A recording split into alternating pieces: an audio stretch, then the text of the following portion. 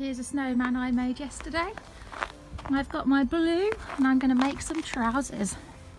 So spray onto your snowman. If you want it darker you can add some more food colouring.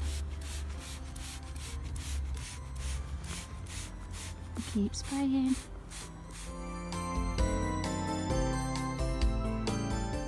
I've now got my red for my t-shirt.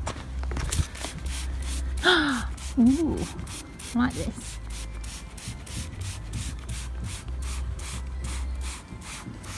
Keep spraying.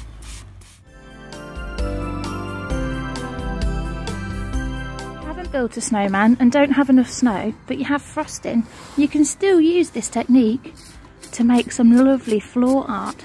Choose your colour, get your bottle and your things you need, and you can make some art on the floor